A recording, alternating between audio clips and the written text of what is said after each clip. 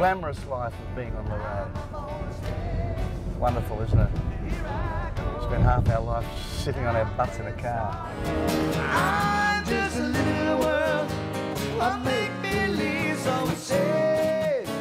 Now, so it says. I'm just a little world of make believe, so it says. Whose is.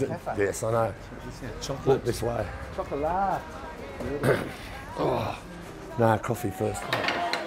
Here we are in the Paragon Cafe in Katoomba. It's quite a famous old place. It's fabulous, it's an art deco. And they make their own chocolates and all sorts of stuff. So. Beautiful.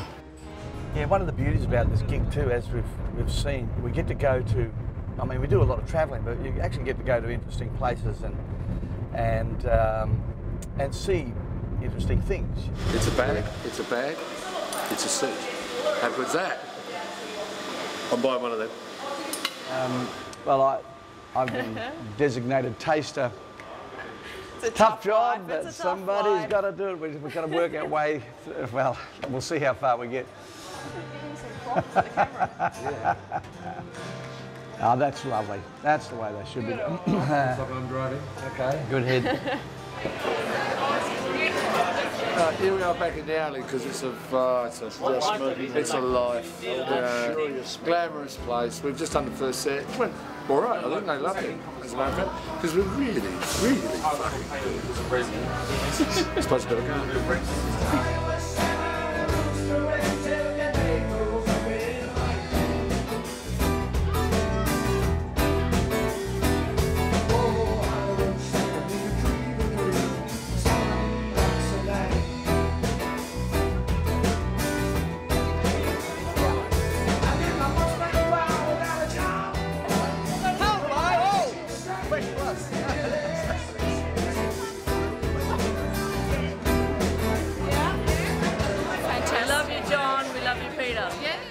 Pedro the fisherman returns with lunch.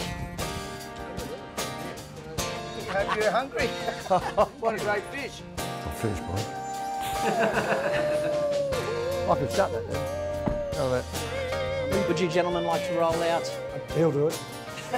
Peter, would you like to roll out? good. No, uh, It's still enjoyable after all these years. And I think it's just that, I think it's a sense of adventure. Makes me